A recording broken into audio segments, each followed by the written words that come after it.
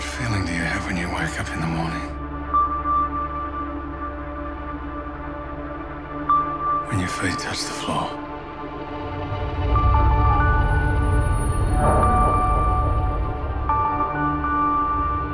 Or before that, when you're lying there, thinking about